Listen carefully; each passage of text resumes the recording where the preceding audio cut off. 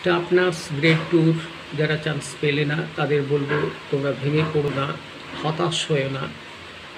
তোমরা আব্দুল কালাম আজাদকে চিনেছ, আমাদের রাষ্ট্রপতি ছিলেন। তিনি এইভাবে পাইলটের ট্রেনিংয়ে চান্স পাননি। কিন্তু তিনি যখন একজন সাধুর কাছে গিয়েছিলেন, সাধু তাকে পরামর্শ দিয়েছিল যে, পাইলটের জন্য নয়, তোমার জন্য অন্য কিছু অপেক্ষা করছে।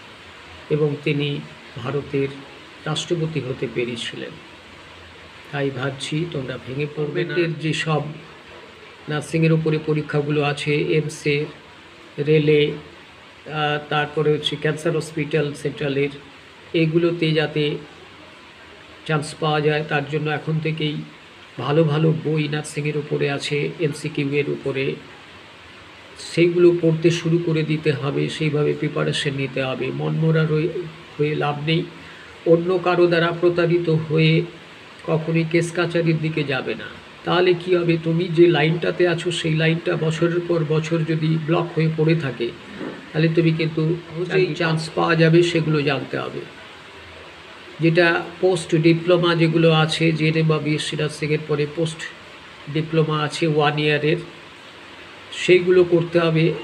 Psychiatric nursing cardiology cardiothoracic nursing neurology এই ধরনের অনেক ধরনের পোস্ট ডিপ্লোমা এক বছরের আছে।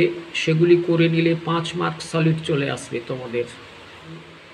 পশ্চিমবঙ্গ সরকার, মমতা ব্যানার্জি, আমাদের মাননীয় মুখ্যমন্ত্রী, প্রত্যেক বছর কিন্তু হেলথে উনি রোগ নিচ্ছেনই।